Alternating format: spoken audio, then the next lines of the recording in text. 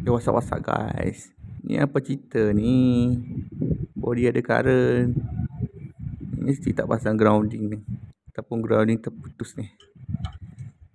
Okay Kau tengok sini eh.